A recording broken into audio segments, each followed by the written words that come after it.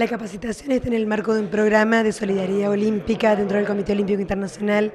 y es un curso de gestión para organizaciones deportivas. Es el primer paso para involucrarse dentro de lo que es la gestión de una organización en el deporte. Y la verdad que hay mucha gente interesada hay solamente 40 cupos dentro de lo que son estos cursos, son cursos pequeños, justamente por la interacción que se realiza entre los alumnos y los docentes. Y la verdad que la convocatoria fue excelente, y no solamente que la convocatoria fue excelente, sino que el grupo humano estuvo muy bien, muy participativos y con mucha avidez por conocimientos. Eh, ¿Tienen pensado volver y seguir trabajando en estas capacitaciones? Nos encantaría. La verdad que es un placer haber venido, hemos disfrutado muchísimo esta instancia de, capacitación con ustedes y la idea, por supuesto, es volver y generar nuevos espacios para seguir formando a la gente dentro de la gestión del deporte. Un balance muy satisfactorio desde el día miércoles acá en el auditorio del Museo Fuino del Arte fueron cuatro días de, ocho horas por día de, curso, un curso muy bueno eh, que da muchas herramientas para todo lo que tiene que ver con la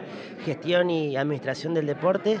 Así que bueno, hablando con, todos los que estuvieron, los dirigentes, eh, profesores de educación física y, mismos deportistas, están todos agradecidos y bueno, con ganas de que sigamos trabajando en conjunto y sigamos trayendo este tipo de capacitaciones que les sirve un montón tanto a ellos como, a nosotros. ¿Cuántas, ¿Cuántas personas recibieron este certificado? Eh, alrededor de 40 personas, que es el, ellos, el Comité Olímpico Argentino y Solidaridad Olímpica Internacional, te ponen un tope porque lo que buscan en estos cursos es que sean personalizados, que tengan la posibilidad interactuar con la mayoría de los integrantes, así que bueno, nos basamos en eso, en, 40 personas, fueron las primeras inscritas, hubo varias más, pero bueno, no, no pudimos, pero bueno, ya, ya con este puntapié inicial la idea es seguir replicándolo y también seguir trayendo otro tipo de capacitaciones porque sabemos que, a la gente le interesa y está presente, estuvieron